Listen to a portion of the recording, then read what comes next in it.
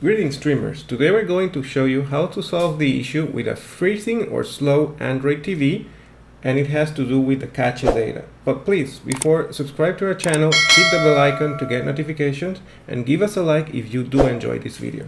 So we're going to the settings option and let's look for device preferences. And we're going to look for the storage. Very important, you need to know how much space it's available on your Android TV or streaming device.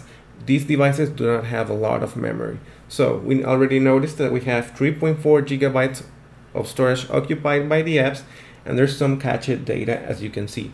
So just click on it and you can decide if you want to clear all the cache data. But remember, if you do so and you had certain movies or apps that have a history of what you were watching, it will all get lost. So evaluate before doing so if you still want to finish your movie before cleaning all the cache. If not, what you can do is select each app individually and clear the cache for each one of them. So you just go to apps, see all apps, and you will find those apps that do have a lot of space occupied.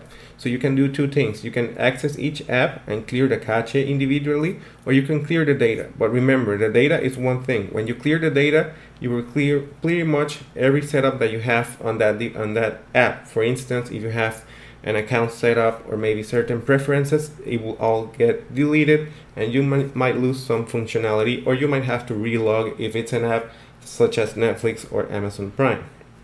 It all depends on what you want to do.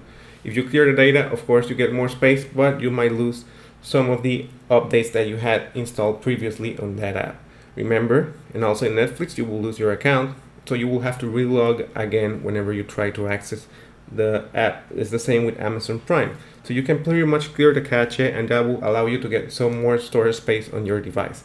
It's up to you, but remember, data and cache are not the same. Data it's everything, cache is only the history of what you have been watching for a faster uh, loading. So let's go and clear the cache and we hit OK and it will make some space on our Android device.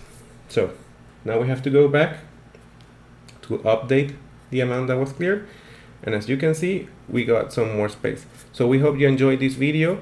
Uh, please don't forget to subscribe and give us a like. Thanks for watching. Happy streaming and goodbye